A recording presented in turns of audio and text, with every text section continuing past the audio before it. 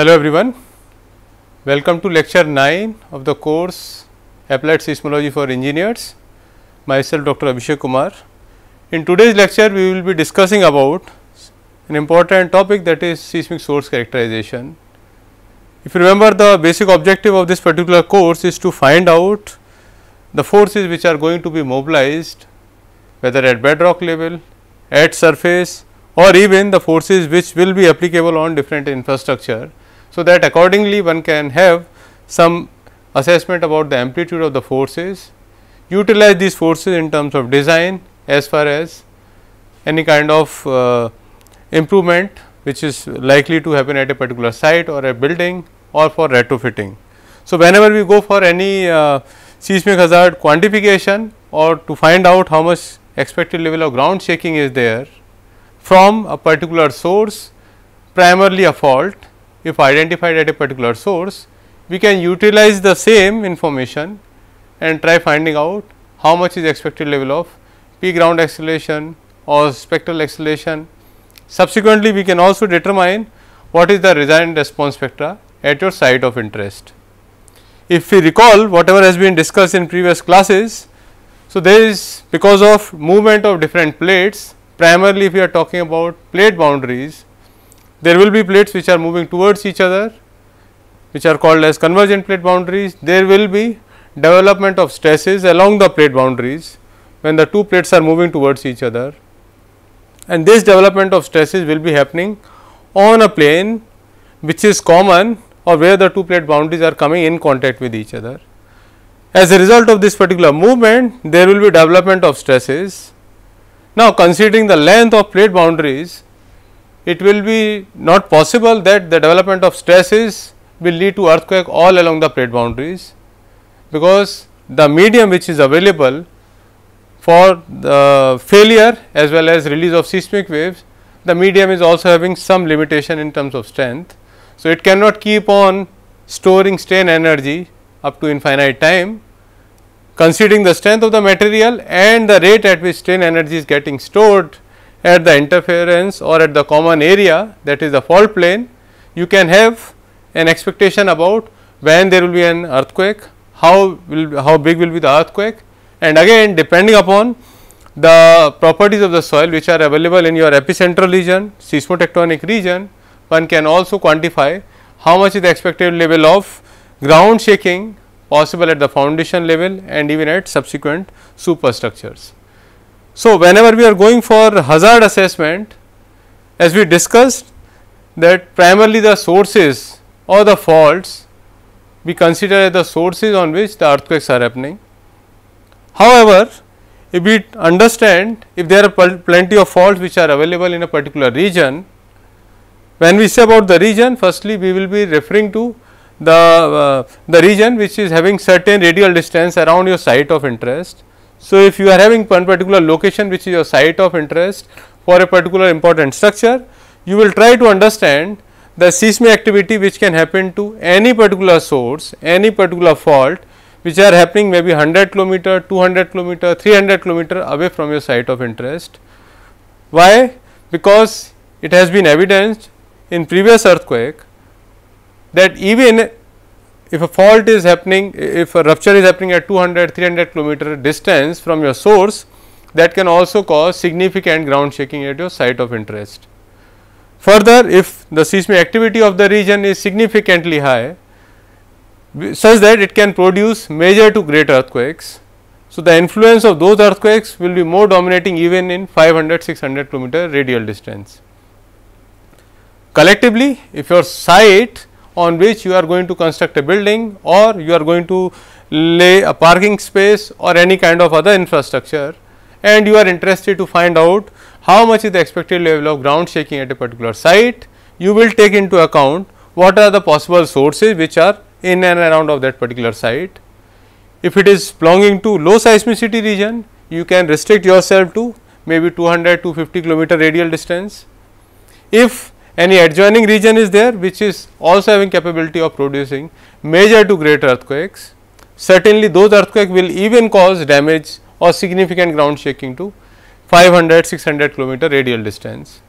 So, if such sources are available, within 500 600 kilometer radial distance from your site of interest certainly those sources also you will take into account and the possibility of those sources to produce earthquake primarily within the design period of the structure will also be taken into account while assessing the potential of ground shaking at a particular site of interest. So, when we discuss about seismic source characterization, the objective here is to identify not only the faults, primarily because not at all places there will be information of the fault completely available to you. Even when we will see some uh, maps which, which, which are put in uh, later slides, that there are some faults which have happened in the past in a particular region, but if we try to correlate this particular fault uh, earthquake with respect to the fault, we will not find any particular linear source or any particular fault. That means, it is not like there is no fault, rather it is there is a fault, but the information about the fault, the orientation, length, fault plane solution, strike, dip values, those are not known from that particular fault. So, we cannot completely avoid the possibility that there is a fault and go ahead with seismic hazard estimation, because certainly that will end, up in underestimation of your seismic hazard and subsequently that can also compromise the safety of your structure, because the design uh, loads which you will be assessing will be significantly low. So, what we generally prefer we try finding out zones within again your 200, 300, 500 kilometer radial distance keeping the center as your site of interest and all the sources or seismic activities which are happening within let us say 500 kilometer radial distance. So, you will try finding out firstly what are the activities which has happened in the past, take additional features such as tectonic setting, rate of movement, percentage rupture, dominating fault mechanism which are also varying across this particular 500 kilometer radial distance. All these parameters are suggesting that within a particular radius of 500 kilometer, there are regions which are responding differently during different earthquakes or the seismic activity is different in different parts of this 500 kilometer radial distance. Collectively if we see that means, we are trying to identify or we are trying to uh, distinguish between different segments which are available within this 500 kilometer radial distance around your site in order to find out what will be the relative contribution from each of these sources within the design life of the structure in terms of earthquake related ground shaking. So, the term seismic source characterization primarily we will be discussing about how a particular source. So far we have discussed about faults, but as I mentioned not every time complete information about the fault will be available to you. Sometime there will be hidden fault, sometime more complex tectonic setting will be there such that you cannot segregate a particular linear feature to be called as fault. But completely we cannot deny the fact that this particular source has been producing earthquake re repeatedly from time to time. It may be minor earthquake, it can be major earthquake, it can be great earthquakes. So, again those sources also there should be a way we can characterize those sources and bring those source related information such that when we are going for quantification of seismic hazard analysis, there should be a way we can quantify those seismic sources, bring them to your hazard analysis. So, contribution of whether it is linear source, whether it is hidden source in some form, the contribution of those sources should be brought to your seismic hazard calculation. So, whenever we say about characterization, we are actually trying to understand what are the characteristics of such seismic sources. As, as I mentioned, maybe it, it, it can be different from the sources which are there in nearby region in terms of dominating fault mechanism, it can be in terms of percentage rupture characteristics.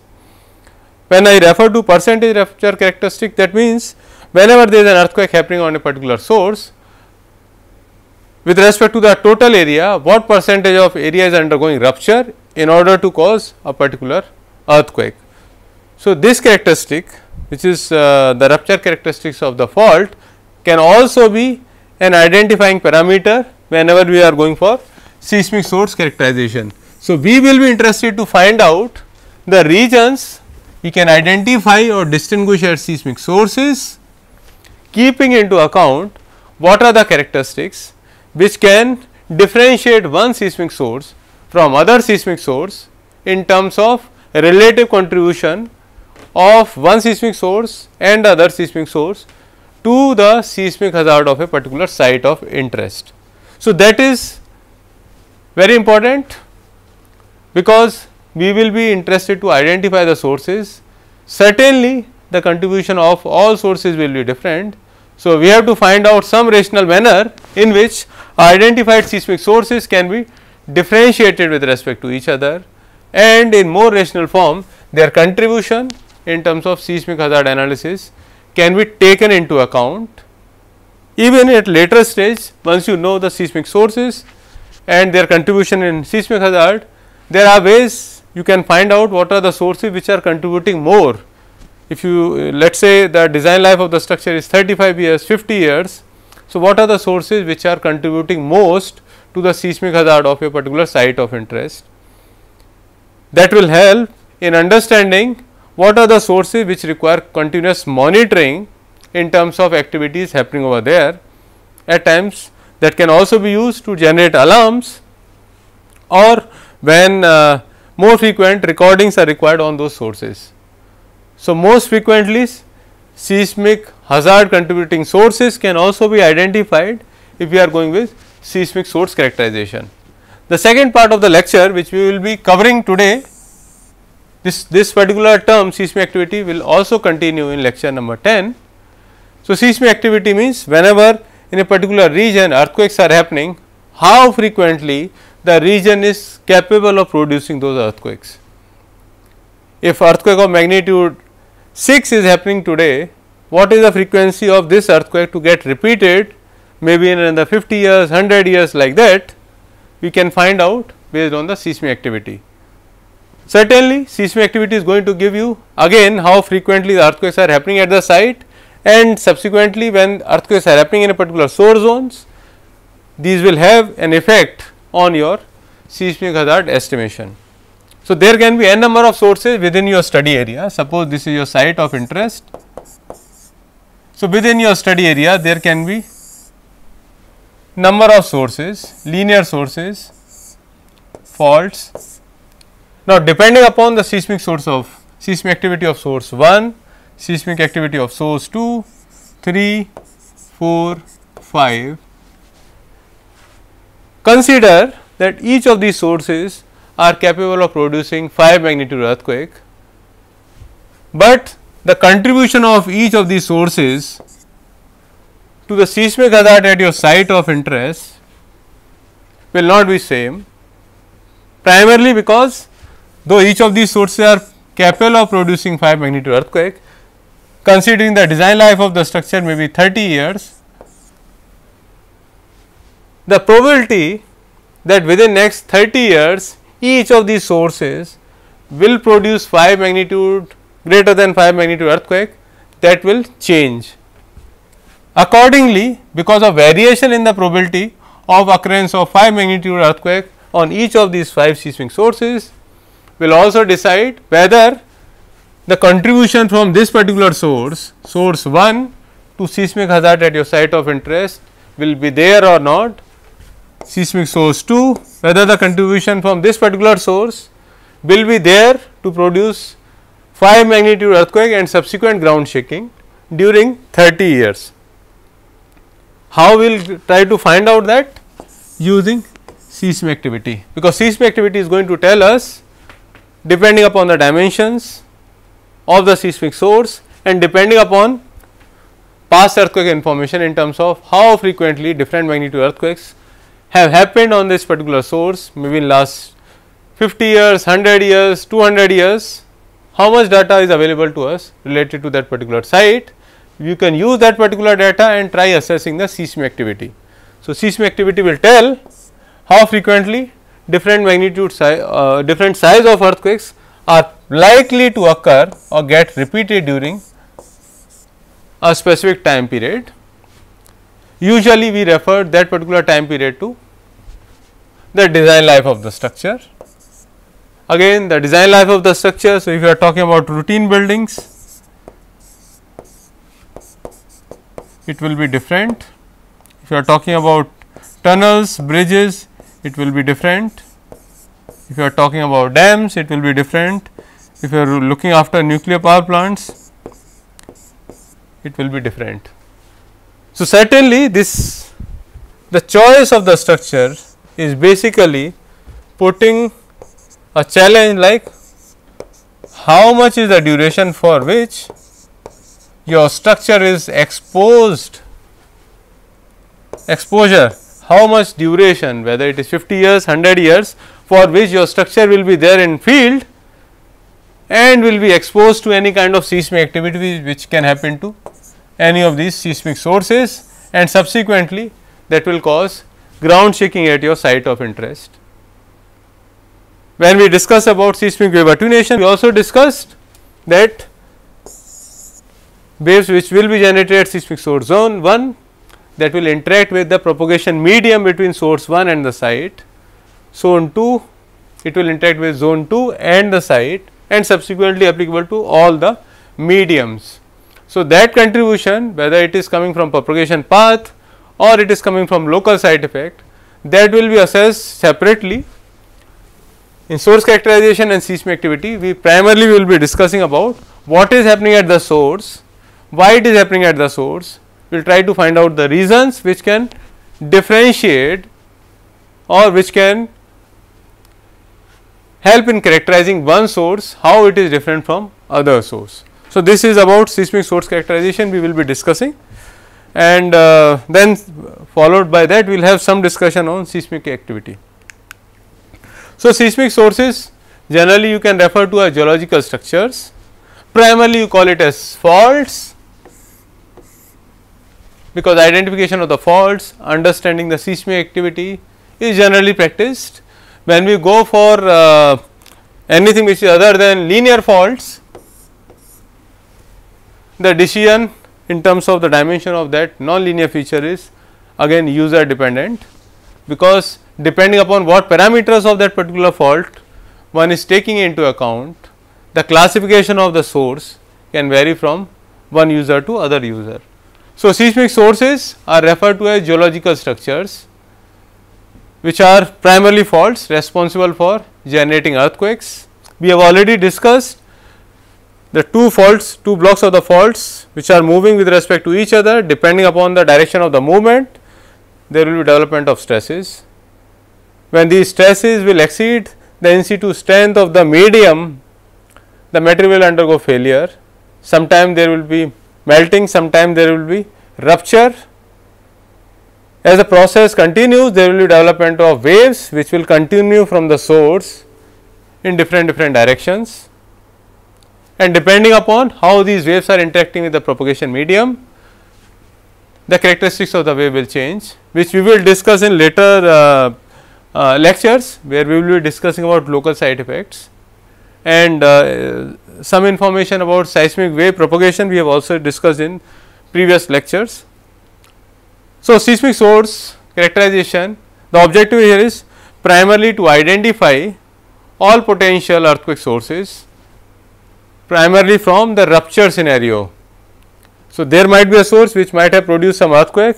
We will correlate this particular earthquake with respect to the earthquake scenario which has been which has happened on that particular source whether in terms of fault plane solution, whether in terms of percentage rupture, whether in terms of dominating fault mechanism in that particular region itself. So, source characterization identifies all potential earthquake sources primarily from geological structures, faults, tectonic processes such that collectively how each of these are responsible for producing earthquake on one fault and subsequently to other faults.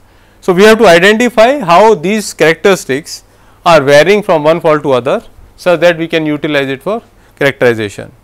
So, though the process of seismic sources we have to have a deep understanding about the fundamental mechanism, what are the governing forces which are actually leading to development of stresses on that particular fault Is it primarily because of plate tectonics or it is because of intraplate stresses which are happening over there or the contribution relative contribution which you are generating from nearby sources.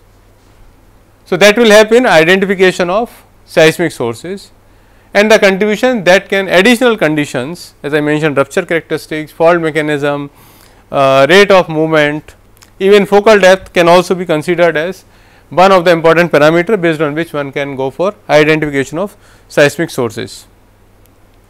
Then you can go for to estimate and understand the seismic hazard. Once the seismic source identification has been done, you can even quantify now this is a particular dimension of the source. So, within this particular source the earthquake can happen anywhere with a known seismic activity which you will be estimating. So, now you are having some information about the site some information about the potential region which is showing you signature of similar seismic activity in terms of producing earthquake during the design life of the structure. So, that collectively you can use to estimate and understand how much potential seismic hazard is uh, possible at your site of interest. Collectively when you are going with seismic hazard analysis you cannot proceed unless you have complete information about source zones which are responding over the period of time differently from uh, differently one from the other one. So, identification of seismic source zones in uh, terms of seismic hazard analysis plays uh, quite important role. Then seismic source characterization it is the first step.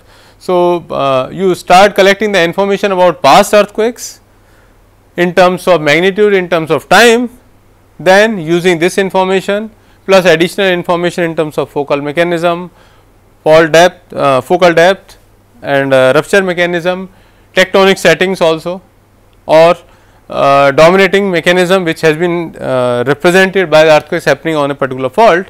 Collectively you can use it to start firstly the earthquake catalog followed by that you will be determining the, the source characterization. Please re remember that when we are going with earthquake catalog uh, uh, preparedness, firstly we will be preparing the earthquake catalog for the entire region and then we will try finding out how within that particular region the seismic activity is varying. That will uh, help us in identifying that though the entire region of 500 kilometer was same, but now based on the seismic activity this entire 500 kilometer radial distance is different from each other in some or the other way. So, that will be the part of seismic source characterization.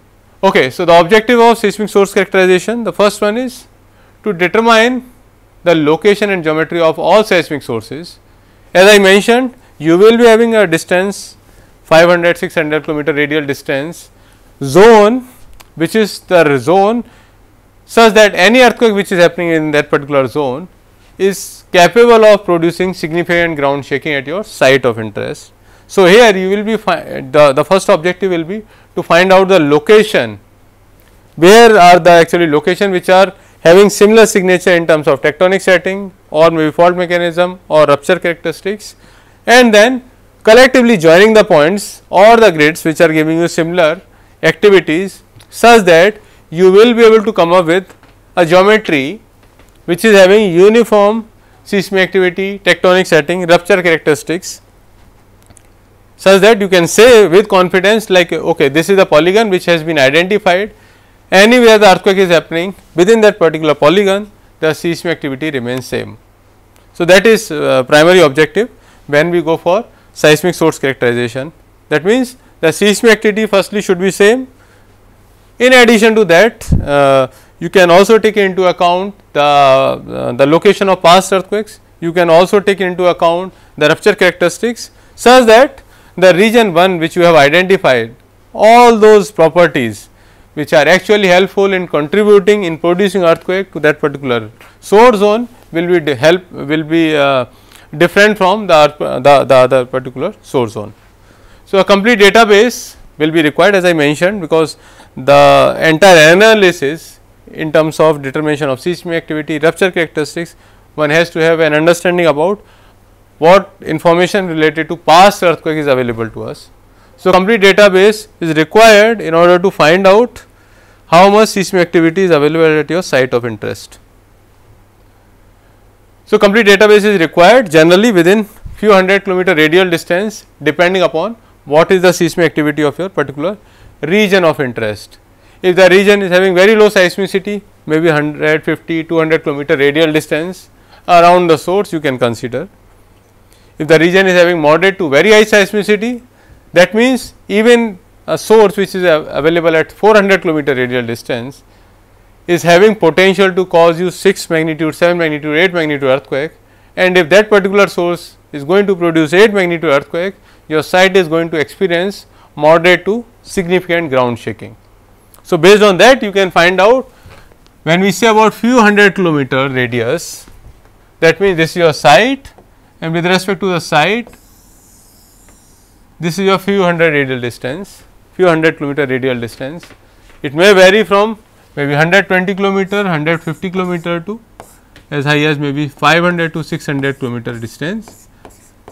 And in exceptional cases depending upon what the guidelines is, you can even extend it to 800 1000 kilometers also in some cases. So, all depends upon uh, how important is your uh, structure which you are going to design and in addition what are the seismic activities happening in and around of your site of interest. So, that collectively will decide what should be the radial distance within which the past earthquake information or the database one has to determine in order to proceed for seismic source characterization. So, the seismotectonic setting of the site and desired return period for the hazard analysis will also be taken into account as potential inputs for hazard analysis and uh, source characterization.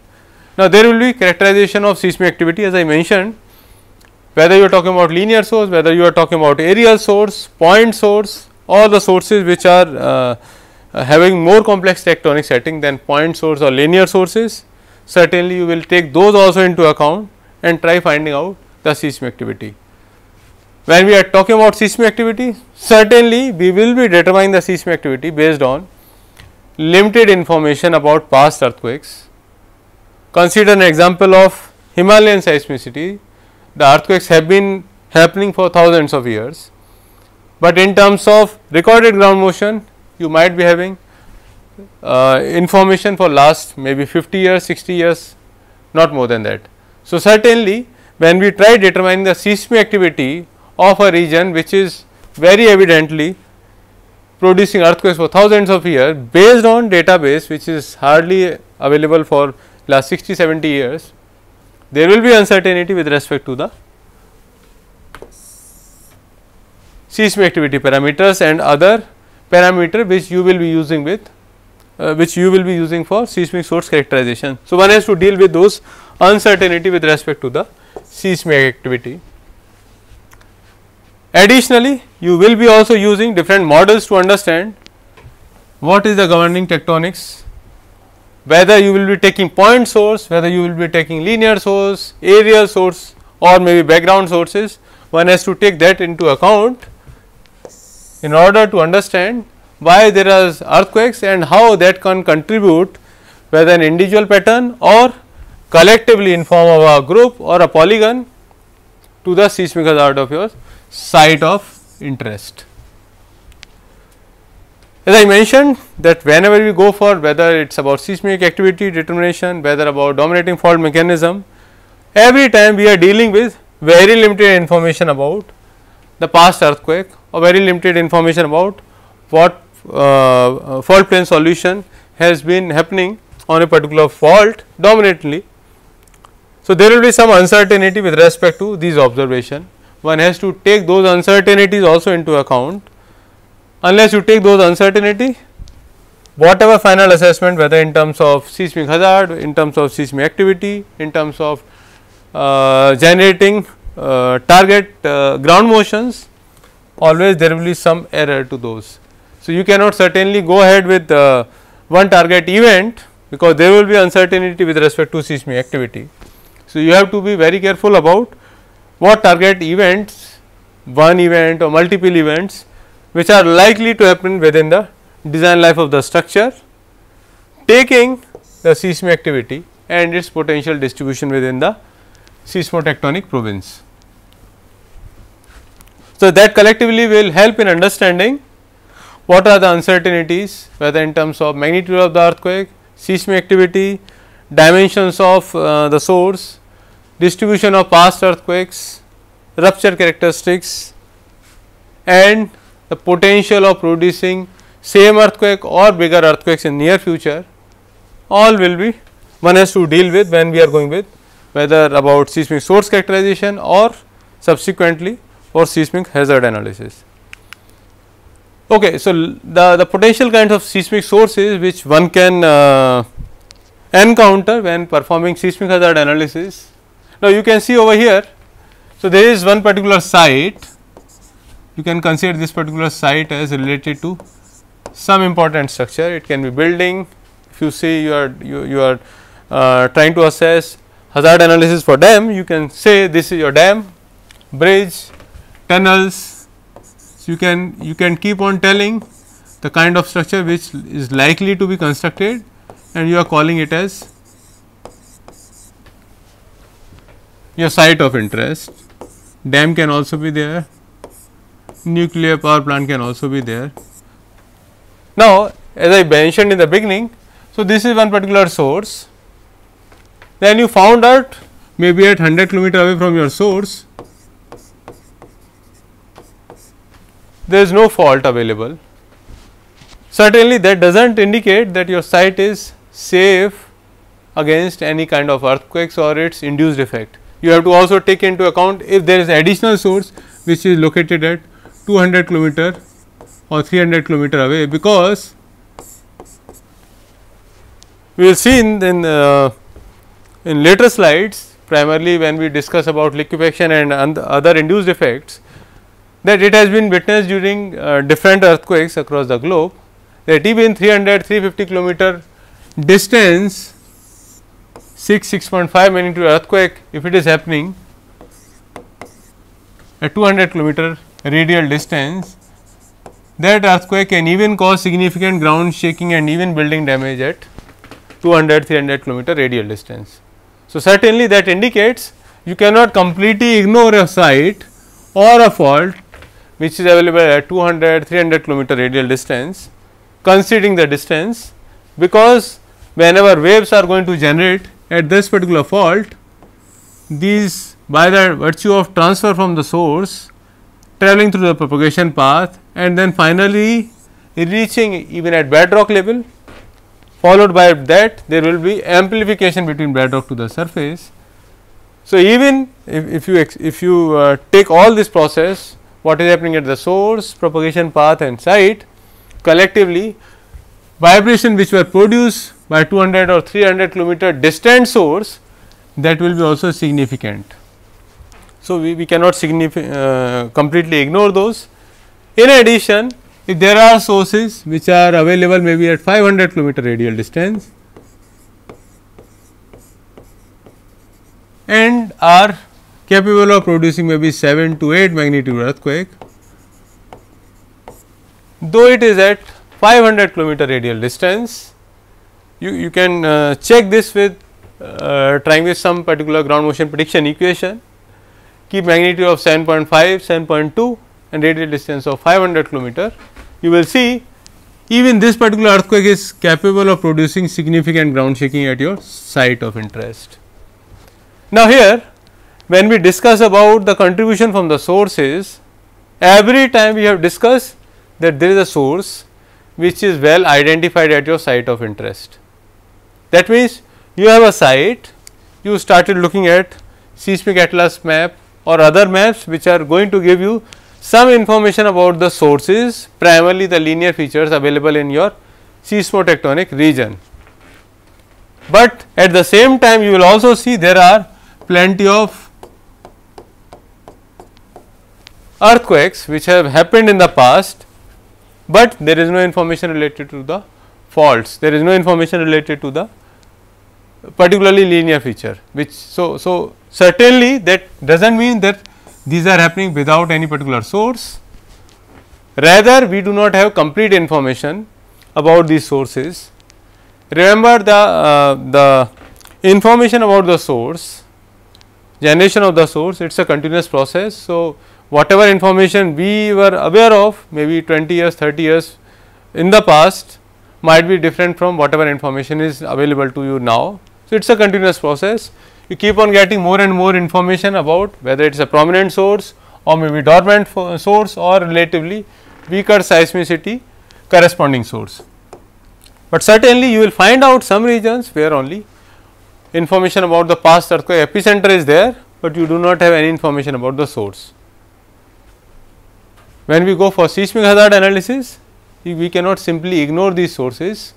You have to find out a way such the contribution of these sources in proper rational manner can be contributed to this particular site. How this particular points are contributing with respect to the seismic hazard of this particular site of interest.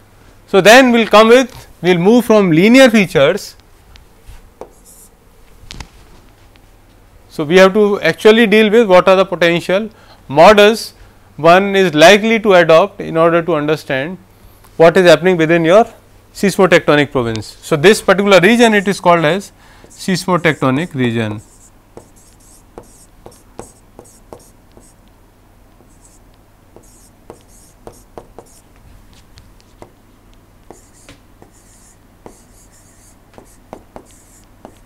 seismotectonic region. That means, what is the region who, whose seismicity can actually contribute to seismic hazard at your site of interest.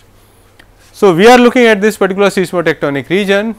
We identified there are some places where earthquakes are there and some sources are there where these earthquakes can be contributed to or can be transferred to, but at the same time there are some sources which do not have any particular linear features related to that. See, you will try identify what are the regions which are showing you similar signature of seismic activity, some similarity in terms of rupture mechanism, percentage rupture, try identify those and then you will find out okay you will have some additional feature which is called as areal sources. There are significantly there, there is significantly larger area which where though you are having information about past earthquake in terms of points but if we see there if we see the contributing parameters which are leading to production of earthquake in these particular regions you find a similarity over here taking that similarity into account you say okay let us see this particular region rather than considering individual points now identified. So, the, the seismic activity within this particular region is constant or the chances that this particular region is going to produce maybe 5 magnitude, 6 magnitude, 7 magnitude earthquake is uniform throughout this particular region that is called as area source. So, primarily objective here in area source is that the seismic activity within the particular region should be uniform, which was also ensured in your linear source. So, whenever we talk about linear source also during a particular earthquake some portion whether you can call this particular portion, this particular portion, some percentage of length, some percentage of width which might be undergoing rupture during a particular earthquake that rupture characteristics also linear source specific, it can be areal source specific. So, we discuss about potentially there are two ways you can classify the regions. One is linear source which is quite well identified. Then in addition we find out cluster of points representing the earthquake which has happened in the past and you find out some similarity in terms of seismic activity which will give you confidence okay we can club all these points and rather than dealing with each of these points individually, now you will have contribution from all these points collectively in terms of area source. Then point source again there will be some points. So, you do not have many number of points in and around of that just some point is there where some earthquake has happened maybe 6, 5, 4.5 magnitude earthquake anything usually greater than 4 we consider important from seismic hazard point of view. So, anything which has produced an earthquake of 4.5 5 but there are no earthquakes in and around of that. That means, this is still we do not have complete information about what is the source of this we cannot club this related to this particular linear source which are located maybe 400 kilometer away. We cannot contribute this with respect to nearby areal source also because the seismic activity shown on this particular by, by these particular points and which is shown by this particular point is significantly different. Then we will take these point sources individually. We will say there is a point which by virtue of its characteristics which is different from areal source and linear source are producing earthquakes and this signature will be repeated during the design life of the structure at least. Uh, and of course, we will take the uncertainty with respect to the seismic activity also into account. Then there will be complex tectonic setting happening how these two regions are behaving with respect to each other or there are many number of crisscrossing faults such that you cannot have just one linear source, we cannot have an areal source, but it is something more complex than linear source, areal source or point source. But since these are contributing also to your seismic hazard, you will take that into account as background sources. So, collectively you, you can look into the uh, the seismotectonic map. So, you will have sources as well as superimpose on the source you will have past earthquake information. That collective map will be called as seismotectonic map. Once that map is ready you can find out probably there are regions or earthquake sources which are actually contributing to linear source, areal source, point source or background source.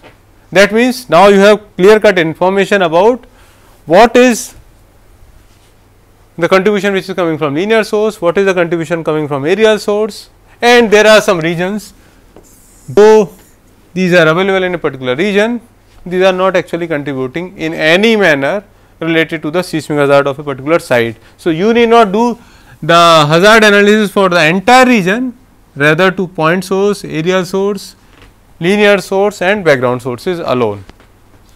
So, that will be uh, time efficient also because you will not be dealing with the seismicity of or seismic hazard corresponding to almost a null zone. Okay, so fault sources as we discuss about primarily about linear sources. So, more general representation of a seismic source is a fault. We have discussed also when we was, uh, were discussing about fault plane solution. So, one hanging wall is there, one foot wall is there. Using uh, uh, considering the direction in which the two are moving, you can have an idea about uh, the rake angle, the dip value, the strike angle. A fault is a three dimensional space which represent a zone of weakness usually at certain kilometers from, from uh, the ground primarily relating focal depth plus and minus some dimensions depending upon the dimension primarily of the rupture area. So, that will help in understanding how much is the uh, fault dimension. The information about the fault as I mentioned it is continuous process. So, based on uh, remote sensing data, based on uh, aerial photographs, based on topographical maps and geophysical maps and even based on paleoseismic investigation one can identify the regions which, which are showing indication of potential source primarily linear source of the fault in a particular region. So, even if a particular event has happened in a past, you can still get an idea about what is the possibility of the event to get repeated primarily on a particular fault. Remember, we when we are discussing about the fault, we do not consider that it is always going to get repeated what has happened in the past is going to get repeated in the near future also. So, that does not mean if you have information about last 40 years you can predict for next 40 years based on that. So, it is uh, primarily based on the Poisson model we do not have complete control on how it is going to happen in the future, but certainly based on the seismic activity which has been generated based on your uh, information about past earthquakes one can have an understanding about future earthquakes and certainly there will be some probability that the uncertainty which you are going to get develop it, the, the actual ground motion may exceed that particular predicted value. So, uh, a source a fault source is represented by a simple polygon also which can be 3 dimensional space and you will have some information about the strike and dip value and if more detailed information in terms of movement is also available to us we can also find out the rake angle also. On in, in seismotectonic map if you see these will be represented by means of linear features if in actual ground it is curved you can you can represent it by means of more than one lines so that you will be able to find out the probability in different different locations for rupture to happen during the design life of the structure. So, number of polygons or line segment you can find out representing the geometric segments of a fault if it is other than simply a linear feature. So, area source as I mentioned there might be some region where you are having active faults, but characterizing individual faults as seismic source will not be possible. One reason may be the, the dimension which is available on the ground surface will be very limited. In order to assign the seismicity which has happened in and around of that particular region uh, to that particular linear feature. In addition, if, if other than one activity, there are not plenty of activities, certainly you cannot assign to nearby source or if there are seismic activity, but there are no uh, linear sources available in the nearby region. So, certainly you will not have linear sources and you cannot characterize those based on limited information as individual fault. So, one has to have some way to accommodate these in terms of areal sources. So, if region is experiencing small earthquake which cannot lead to surface rupture, again the information exact information about the sources will remain uh, partially known. So, we will have uh, more about area sources, then subsequently about point sources. As I mentioned there, there, so there are not much of activity happening in and around of that particular region which have shown one or two events in last maybe 50 years, 100 years. So, there should be a way we can account for those point sources. These are normally applicable to ground motion models. So, so, generally when we go for synthetic ground motions also we will be having some information about point source model. As we mentioned over here we in point source model we generally do not take the dimensions of the fault simply we take there was a point at which rupture initiated and subsequently led to generation of seismic wave and then followed by propagation path and site effects.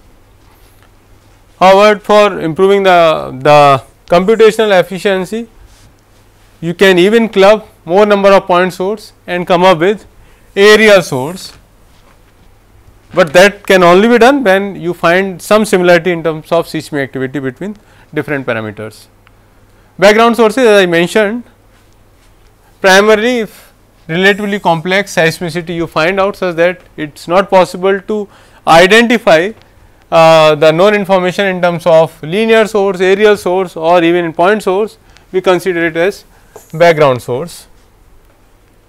Usually the seismicity will be relatively low for linear source, but still it is contributing significantly with respect to the seismic hazard at, at a particular site. Primarily if the exposure period is significantly large because you keep on increasing the exposure period even the low magnitude earthquake have more chances to get uh, experience during the design life of the structure. So, these can also cause significantly to the seismic hazard at your site of interest. Now, there are ways you can uh, help in identifying the seismic sources. One is based on the geological evidences. So, one can look into uh, the relative age what are the geomorphological features available in a particular site. Then trenching also can be done. Geophysical methods are also there which will also help in identifying potential location of the faults, uh, the fault mechanism which is also there. So, that can also help in identifying even remote sensing data will also give you what are the potential location which are which are uh, more or less giving you same value of displacement ground displacement direction as well as amplitude. So, that can also be clubbed in terms of geological evidences indicating what are the regions which can be clubbed collectively in terms of one seismic source. Historical evidence you take past earthquake information into account and try identifying or clubbing the regions which are having similar signature in terms of historical uh, um, evidence for earthquake occurrence. Even damages which have been produced by different earthquakes can also be taken into account as a representative feature to identify seismic sources. Then instrumental events with more information uh, in terms of GPS measurements, in terms of remote sensing, you can have more clear cut information about what signature at the ground is visible which can be used as an evidence to classify or club uh, much larger area into one seismic source. And of course, past literature we can always depend significantly on whatever work is already been done in terms of seismic source characterization for a particular region. So, that will also give you some clarity about what are the attempts which have been done in the past in identification of seismic sources. We can also utilize those information of course, bring more parameters into account and then do seismic source characterization. So, it is uh, the seismic hazard at a particular site is usually influenced by sources more probably in terms of if you are talking about some sources which are capable of producing major to greater earthquakes and the region is also 500 600 kilometer radial distance.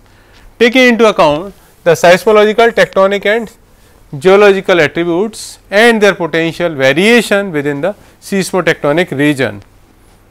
So, tectonic setting when we are talking about geological age when we are talking about that can also help in identify that the regions throughout your seismotectonic region are not same, but can be clubbed into more than one seismic source. Next part is the seismic activity as I mentioned that will help in identifying how frequently different magnitude earthquakes are likely to occur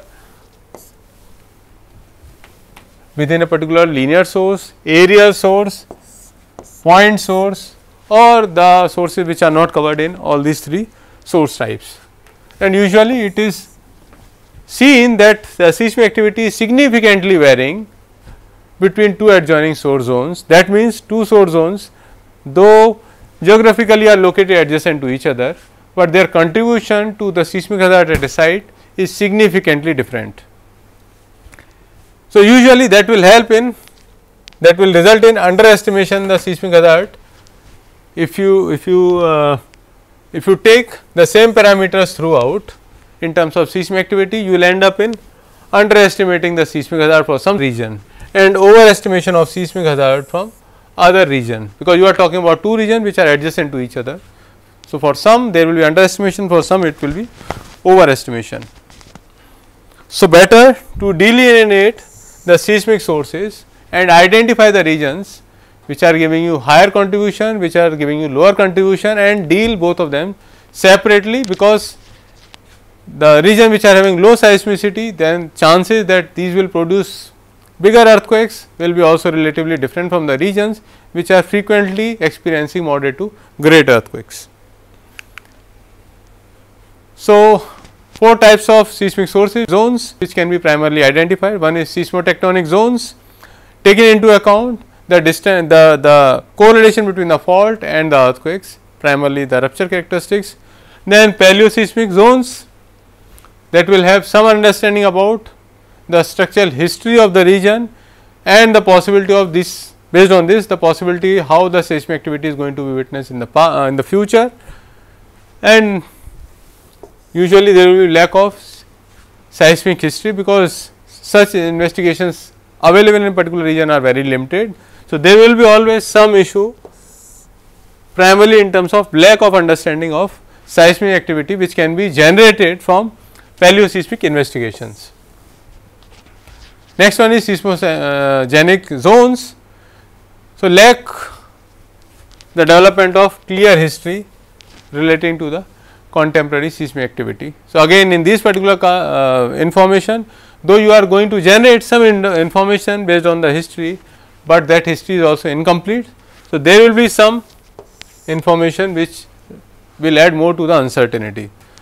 Then seismicity zones based on the spatial distribution of seismic history, one can identify the zones which are showing you different seismic history, zones which are showing you uh, similar seismic history, you can club those zones and then proceed for source characterization.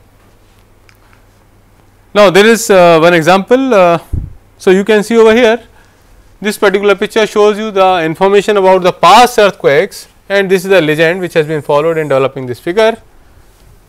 You can see over here the distribution of past earthquakes are not uniform. This is from northeast India. So, you can see over here this is uh, this side you have Indo Burmese subduction zone, this side you are having Indo Eurasian subduction zone and then in between this is northeast India.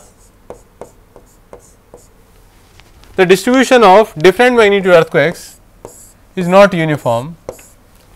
Even if you superimpose only the location of past earthquake, it is not significant, it is not uniform. You see over here, it is significantly low over here, significantly high in these regions and even in these regions, then moderate in these regions so, based on visual identification itself one can identify that the, the, the signature which is being shown in terms of earthquake occurrence in the past itself is not uniform. That means, if earthquake is going to get produced in 50 years over here will be significantly different if same magnitude earthquake is going to get repeated in this particular region.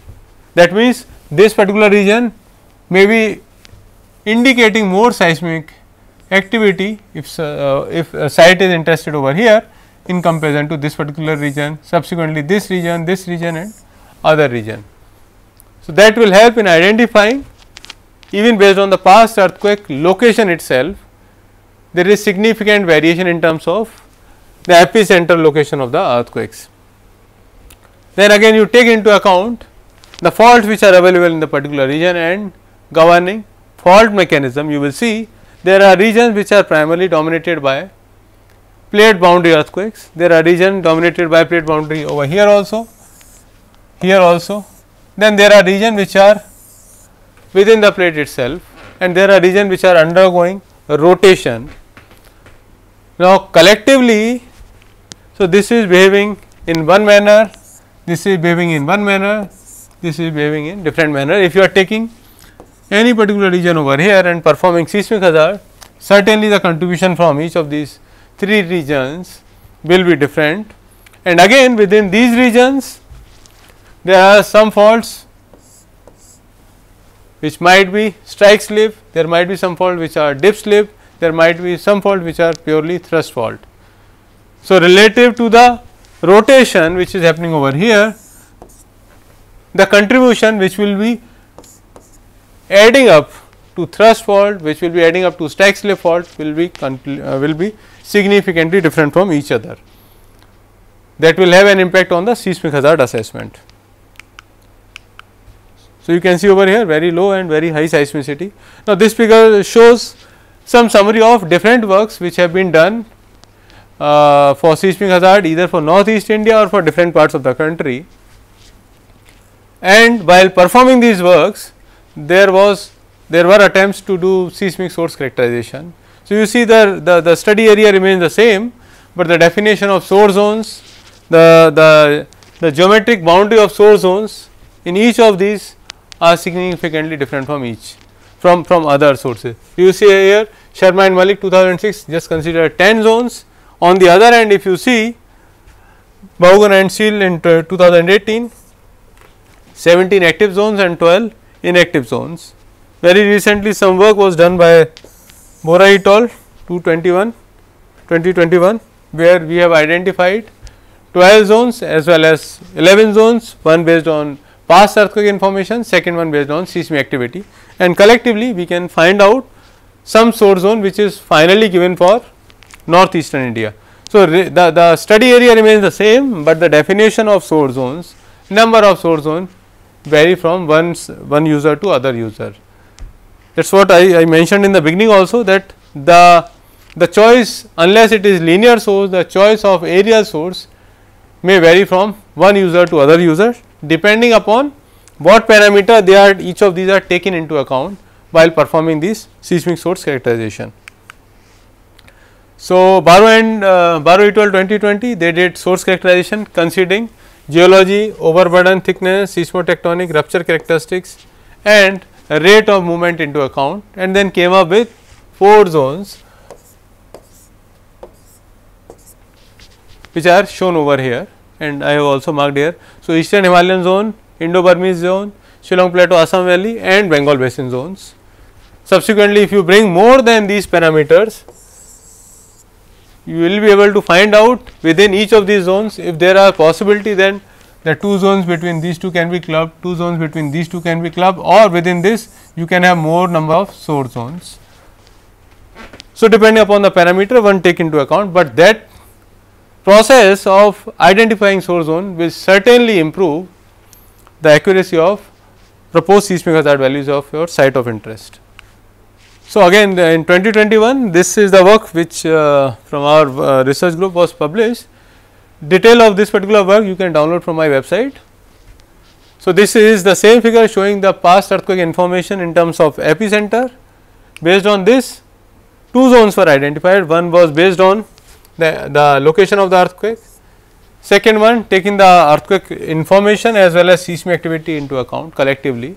So, we propose 11 zone for entire northeast India ensuring the seismic activity within each of the zone Z5 will remain same, in Z6 the seismicity will be uniform, in Z9 also will be uniform and subsequently for all the 11 zones the identified seismicity was uniform. So, there are uncertainty with respect to whatever is known with respect to earthquake occurrence process that will primarily come in aleatory uncertainty which take into account the randomness of the process contributing to earthquake occurrence and then epistemic uncertainty which are primarily related to the limited knowledge of different model parameters which can help in understanding the source zones and what is happening at the source. So, one has to deal with epistemic and aleatory uncertainties separately taking into account the information about a particular source, information about uh, the tectonic setting, information about rupture characteristics as well as past seismicity into account such that that will help in identification of these source zones more accurately. So, importance of source zones it will help in getting more information about the structural features, the fault, tectonic settings and also in terms of contributing the seismic sources, which are the seismic sources which are contributing more, which are the seismic sources which are contributing relatively less to the seismic hazard of a particular region. And of course, we have to deal with the associated uncertainty with respect to each of these uh, parameters which is used for seismic source identification. This will also help in decision making process once we go for design, when we go for land use planning also, because that will help uh, in gaining more confidence. If we know what are the sources which are contributing more, we can go for detailed monitoring of those sources, certainly that will help in arriving at primarily the land use land planning and then even be prepared for emergency situation because on one side we have identified the most contributing source on other side based on this output we are actually regularly monitoring that particular source and then characterizing. So, you have to take into account the past seismicity in order to identify what are the potential magnitude which a source can produce even though we have some information about what maximum magnitude the source has produced in the in, in the, the limited history which is available to us. So, if we if we are having some history of last 80 years 100 years there are chances that the source has not produced its true potential even it still it can produce larger magnitude earthquakes.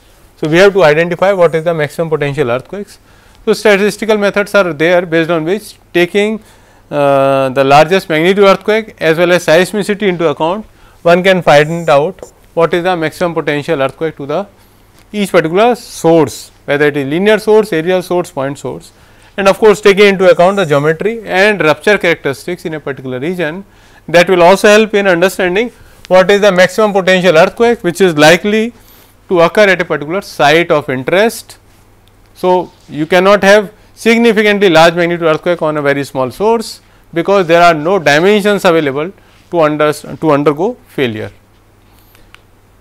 Of course, this is last part. So, seismic activity as I mentioned it is basically correlating the number of particular magnitude earthquakes which is shown over here. So, you can see over here log of number of any particular magnitude earthquake and uh, is there on y axis and the magnitude of that particular uh, earthquake is on x axis. So, as per Gutenberg and Richter a correlation exists which correlates the number of earthquakes with respect to its magnitude. What it means usually small earthquakes will be happening more frequently. If you go to moderate earthquakes the frequency of those earthquakes will be relatively less in term in, in comparison to small magnitude earthquakes. Similarly, you go to major earthquakes again the frequency of those earthquake occurrence will be less. You go to great earthquakes the frequency will significantly be less. So, Gutenberg Richter relation is giving you correlation between how many number of earthquakes of a particular magnitude are likely to occur in a particular source zone in a particular region depending upon for which region this particular information is known. When we are determining is m is the magnitude, capital N is number of events of magnitude capital M which are likely to occur and these two are correlated with respect to two parameters. One is A which is going to tell you how many number of earthquakes of lowest magnitude usually 3, 4 depending upon the designer are produced in a particular region and B is going to tell you the frequency at which overall the magnitude of earthquakes of uh, I mean earthquakes of different magnitudes are potential. So, B is basically the slope of this particular line and A is the intercept on this particular.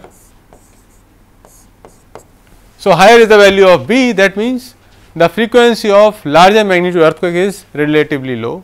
Low is the value of B then you can say that the occurrence of higher magnitude earthquake is relatively more. So, that is how we can have some understanding.